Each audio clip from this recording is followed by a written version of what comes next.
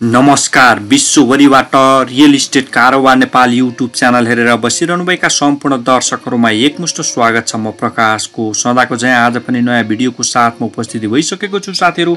आज मैले काठमाडौँ जिल्ला बुढा नीलकण्ठ नगरपालिका वार्ड नम्बर सात हेपाली हाइटमा रहेको आकर्षक साढे दुई तले सेमी बङ्गलो बिक्रीमा आएको छ। यो यो बङ्गलोको सम्पूर्ण जानकारी तपाईँहरू माझ राख्न लागिरहेको छु। पुरा भिडियो हेर्नुहोला। हेर्नुहोस् त यो साढे तिन आना जग्गामा बनेको हालसालै बनेको नयाँ सेमी बङ्गलो रहेको छ। यसमा बत्ती पानी ढलको राम्रो सुविधा रहेको नारायण गोपाल चोक रिङ रोडबाट गलफुटार हुँदै हेफाली जाने बाटोमा चाहिँ रहेको छ। हाइटमा रहेको पारिलो ठाउँमा रहेको घाम लाग्ने ठाउँमा रहेको पश्चिम मोडाको घर रहेको छ। एकदम आकर्षक घर रहेको छ अर्थात् आकर्षक सेमी बङ्गलो रहेको छ पार्किङ रहेको छ कार र मोटरसाइकल अट्ने रहेको छ भनेदेखि ढलान बाटोबाट थोरै भित्र बाह्र फिटको बाटोमा चाहिँ रहेको आकर्षक बङ्गलो रहेको छ। यो बङ्गलोको भित्रदेखि बाहिरसम्मको बनावट तपाईँहरू माझ मैले राखिरहेको छु। यो बङ्गलो नजिक स्कुल कलेज हस्पिटल पुलिस चौकी सबै नजिक रहेको छ। कस्तो लागिरहेको छ तपाईँलाई चाहिँ मैले देखाइरहेको छु। र यो घरभित्रको जानकारी पनि तपाईँहरू माझमा राख्न लागिरहेको छु।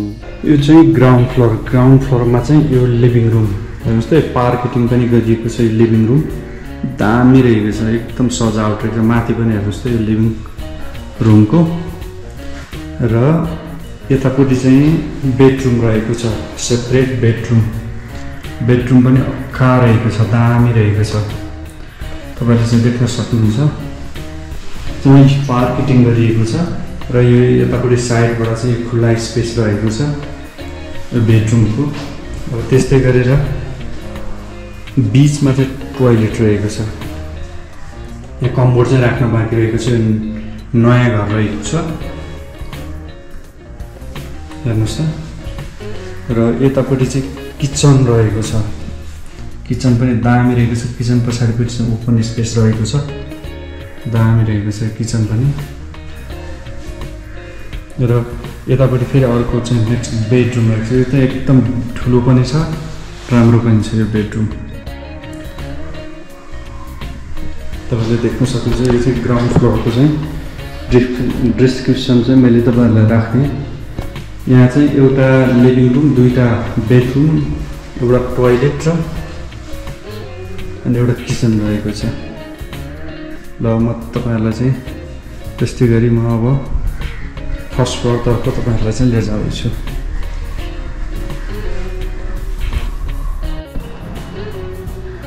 यो चाहिँ फर्स्ट फ्लोर यो जुन फर्स्ट फ्लोरको दृश्य तपाईँहरू माझ मैले राखिरहेको छु यो चाहिँ लिभिङ रुम रहेको छ। यो लिभिङ रुम हेर्नुहोस् त भर्याङबाट आउने दृश्य उताबाट यता आएर आउन सक्ने चाहिँ यो चाहिँ लिभिङ रुम रहेको छ जुनमा पा पार्केटिङ प्रयोग गरिएको छ। एकदम राम्रो पाराले बनाइएको छ।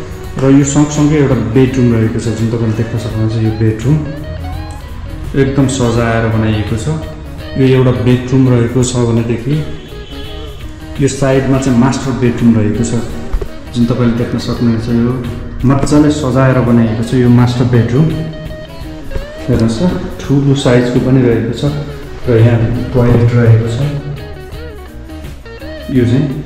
र त्यस्तै गरी यतापट्टि चाहिँ बिचमा टोइलेट रहेको छ जुन चाहिँ कमन टोइलेट रहेको छ यो कमन टोइलेट हो। र यतापट्टि साइडमा चाहिँ बेडरुम रहेको छ जुन यो पनि तपाईँले देख्न सक्नुहुन्छ एकदम ठुलो साइजको बेडरुम रहेको छ। हेर्नुहोस् त एकदम आकर्षक रहेको छ। यसमा चाहिँ एउटा मास्टर बेडरुम दुईवटा बेडरुम एउटा टोइलेट कमन टोइलेट र एउटा लिभिङ रुम रहेको छ जुन तपाईँहरूलाई चाहिँ मैले दृश्यमा देखाएँ। र एकदम घाम लाग्ने पारिलो ठाउँमा रहेको छ। त्यस्तै गरी म अब सेकेन्ड फ्लोरतर्फ तपाईँहरूलाई लिएर जाँदैछु। त्यो चाहिँ सेकेन्ड फ्लोरको दृश्य रहेको छ। जुन पार्केटिङ गरिएको छ हेर्नुहोस् यो भर्याङमा एकदम राम्रोसँग सजाइएर चाहिँ बनाइएको छ। र यहाँ चाहिँ बडार बडार कुडार गर्ने कार्यक्रम चलिरहेको छ। र यो चाहिँ भर्याङको सबभन्दा माथि यो चाहिँ प्रे रुमको रूपमा चाहिँ प्रयोग गर्न सकिन्छ। यो प्रे रुम पूजा गर्ने ठाउँको रूपमा चाहिँ प्रयोग गर्न सकिन्छ यो। सबभन्दा टपमा रहेको छ। र म तपाईँलाई त्यस्तै गरेर यसको चाहिँ टपमा रहेको दृश्य देखाउँछु। हेर्नुहोस् त टपमा एकदम ठुलो किचन हल रहेको छ। एकदम बोबाल पाराले चाहिँ डेकोरेसन गरिएको। हेर्नुहोस् त। किचन। यो चाहिँ किचन।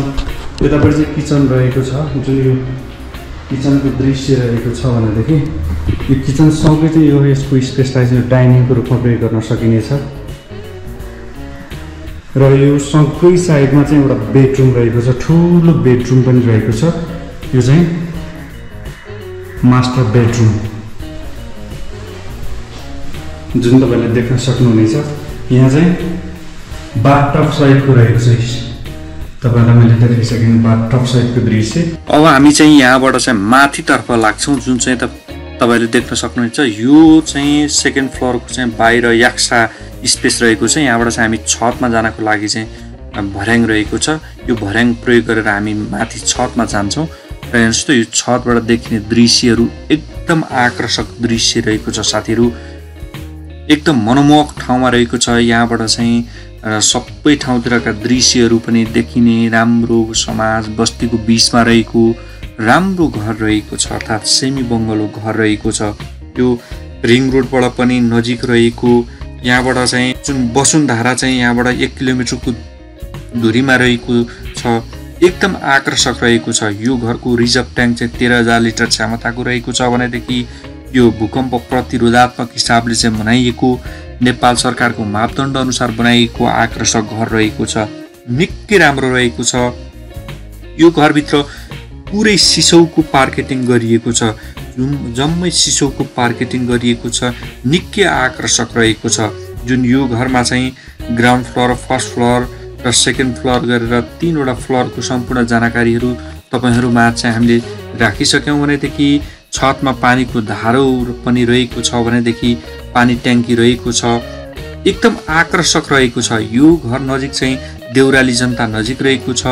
भनेदेखि सबै सुविधा रहेको छ नजिकै चाहिँ हस्पिटलहरू रहेको छ बजार नजिक रहेको छ राम्रो बस्ती रहेको छ निकै आकर्षक घर रहेको छ र यो घरको घरधनीको नम्बर अर्थात् यो बङ्गलोको बङ्गलो धनीको नम्बर अन्ठानब्बे पाँच दस साठी नौ सय चालिस र अन्ठानब्बे जिरो बत्तिस चौन्न आठ सय अडचालिस रहेको छ। उहाँलाई इमो भाइबर वाट्सएपबाट पनि सम्पर्क गरेर यो प्रपर्टी किन्न सक्नुहुनेछ अर्थात् यो सेमी बङ्गलो किन्न सक्नुहुनेछ। यो बङ्गलोको मूल्य तिन करोड पैँतिस लाख रुपियाँ रहेको छ यसमा केही नेगोसिएसन गर्न सकिनेछ र तपाईँलाई यो भिडियो हेरिसकेपछि उपयुक्त लागेमा छिटोभन्दा छिटो सम्पर्क गरेर यो सेमी बङ्गलो किन्न सक्नुहुनेछ।